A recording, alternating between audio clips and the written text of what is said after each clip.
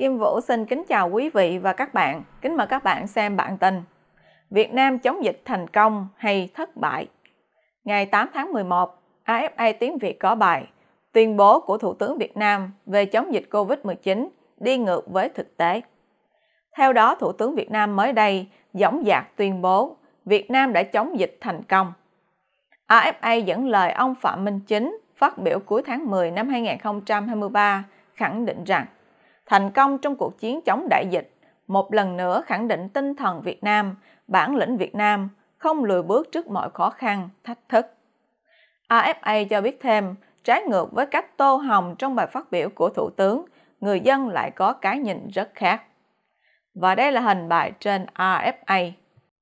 AFA dẫn lời ông Cao Hà Trực ở Sài Gòn cho biết, không hiểu cái thành công mà ông ấy, tức là Thủ tướng nói, là gì, nhưng đối với nhìn nhận của một người dân như tôi, thì tôi nghĩ không có ai coi là thành công hết. Đó là một sự thất bại ê chệ.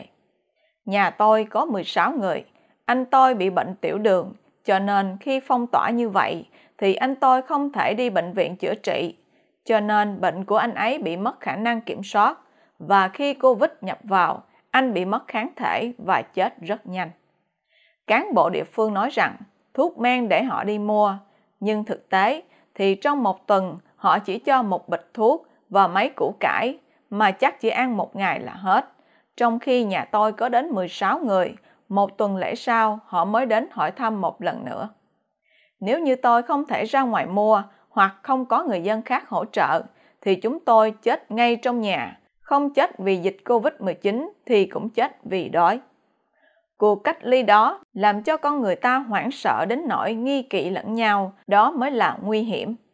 Nó làm mất tình người bởi vì đi đâu người ta cũng sợ lây nhiễm, rồi người này kỳ thị người kia, cho nên làm cho tình người bị ngăn cách. Rất nhiều người bị khủng hoảng tinh thần. AFA cho biết, trong thời gian giãn cách xã hội, mỗi ngày trên mạng xã hội đều xuất hiện những lời kêu gọi cứu đói, hỗ trợ thực phẩm cho người dân, đặc biệt là ở các xóm trọ nghèo, dân lao động phổ thông nhập cư. Và đây là hình một khu phố bị giãn cách xã hội. AFA dẫn lời bà Phờ ở Sài Gòn nói rằng chắc do ông thủ tướng ở trên cao không thấy được những việc ở dưới dân. Có lần mình nhớ đi đến một xóm trọ ở gần bến xe miền Đông, có một bà cụ bị mù một mắt, dắt theo một đứa nhỏ sinh hoạt của mình. Bà nói bà không biết và cũng không có điện thoại để lên mạng kêu cứu. Khi bắt đầu mở phong tỏa cho Sài Gòn vào cuối tháng 10 năm 2021, lúc đó có rất nhiều người hoảng loạn chạy về quê. Nếu chống dịch thành công, sao nhiều người tháo chạy như vậy? Tất cả những điều vừa kể, không biết chính phủ có ghi nhận không hay là tốt đẹp nhận hết, còn cái xấu thì lờ đi.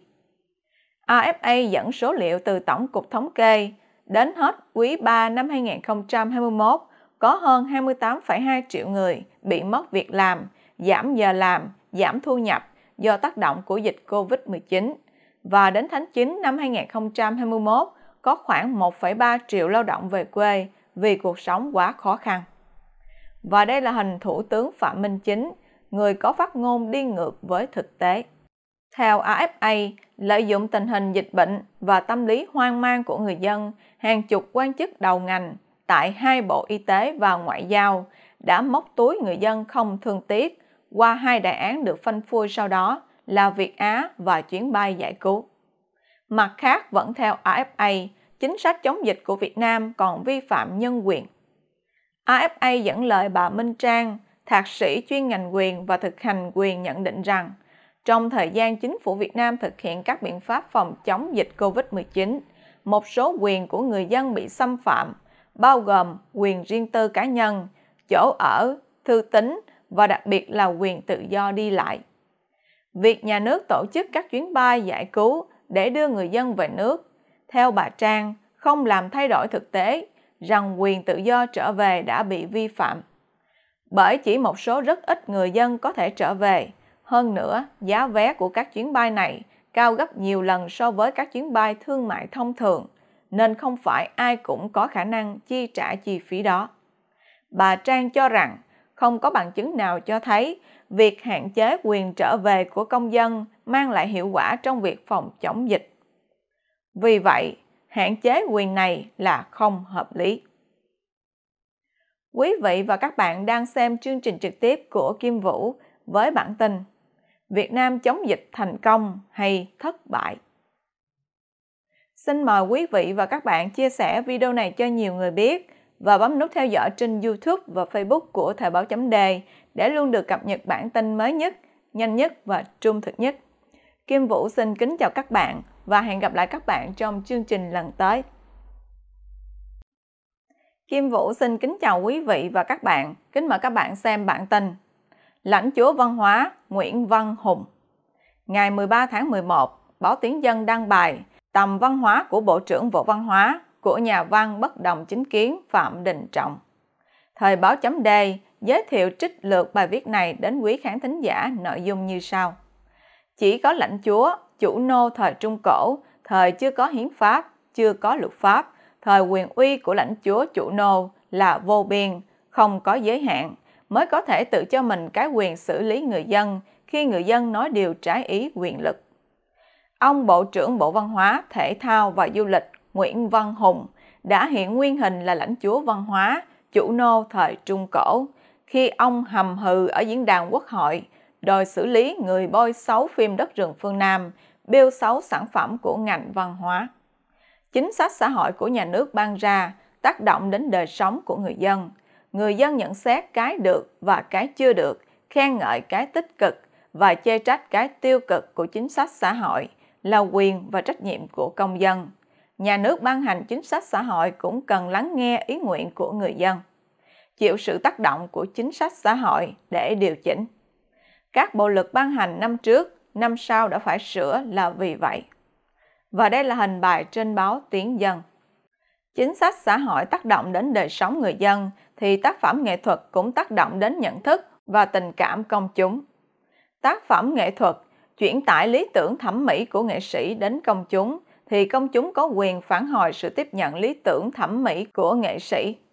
Sự tiếp nhận có thể hài lòng khen ngợi, có thể bất bình chê trách, có thể đùng đùng phẫn nộ, lên án là điều bình thường, đương nhiên. Gần đây còn có ông nhà thơ, nhà triết học, nhà mỹ học, còn chê thơ truyện kiều là dở, không thể so sánh được với thơ của ông. Với quyền lực vô biên của lãnh chúa văn hóa, ông Bộ trưởng Nguyễn Văn Hùng sẽ xử lý cả các nhà nho, xử lý ca dao, xử lý nhà thơ, nhà mỹ học dám chê truyện kiều sao. Chỉ có đảng viên học nghị quyết của đảng không được chê nghị quyết đã được đại hội đảng biểu quyết thông qua. Còn bộ phim phát hành bán vé cho người xem thì bộ phim dù là sản phẩm văn hóa cũng là hàng hóa như mọi hàng hóa tiêu dùng khác. Khi đã bỏ tiền mua sản phẩm hàng hóa thì người mua đã là chủ sản phẩm. Họ có quyền phán xét sản phẩm họ mua có đáng với đồng tiền họ bỏ ra hay không. Và đây là hình Bộ trưởng Bộ Văn hóa Nguyễn Văn Hùng và phát ngôn của ông ở Quốc hội.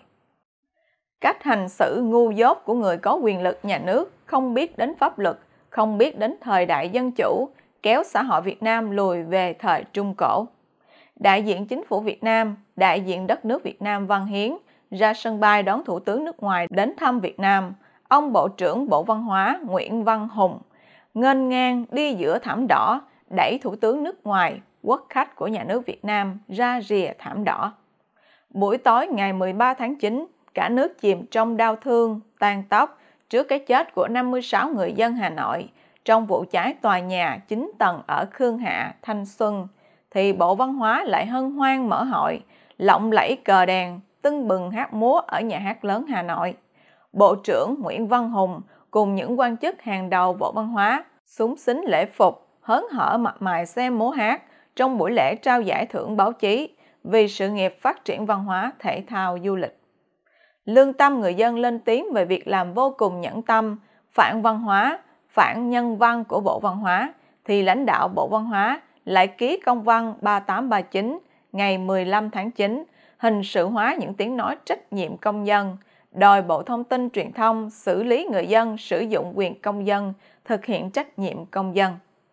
Đứng trên diễn đàn Quốc hội, ông Bộ trưởng Bộ Văn hóa Nguyễn Văn Hùng mặt sắc, giọng ngang, hình sự hóa đời sống dân sự, đòi quyền lực nhà nước xử lý người chê bai bộ phim của ngành văn hóa do ông đứng đầu.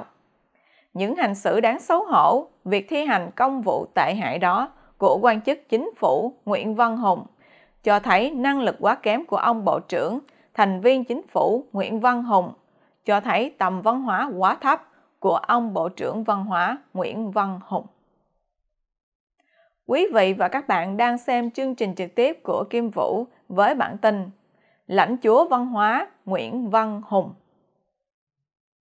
Xin mời quý vị và các bạn chia sẻ video này cho nhiều người biết và bấm nút theo dõi trên YouTube và Facebook của Thời báo chấm đề để luôn được cập nhật bản tin mới nhất, nhanh nhất và trung thực nhất. Kim Vũ xin kính chào các bạn và hẹn gặp lại các bạn trong chương trình lần tới.